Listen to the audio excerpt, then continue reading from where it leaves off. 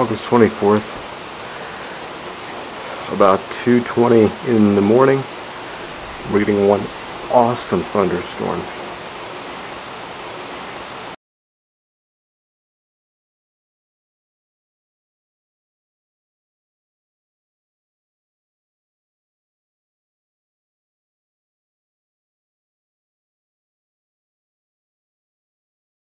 Holy